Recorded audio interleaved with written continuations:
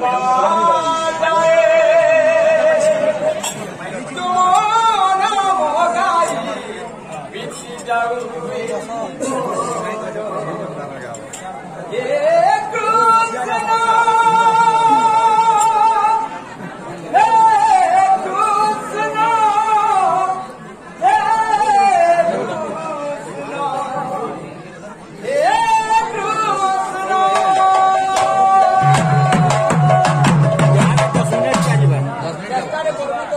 यहाँ दस मिनट हमारे दस मिनट दस मिनट बंद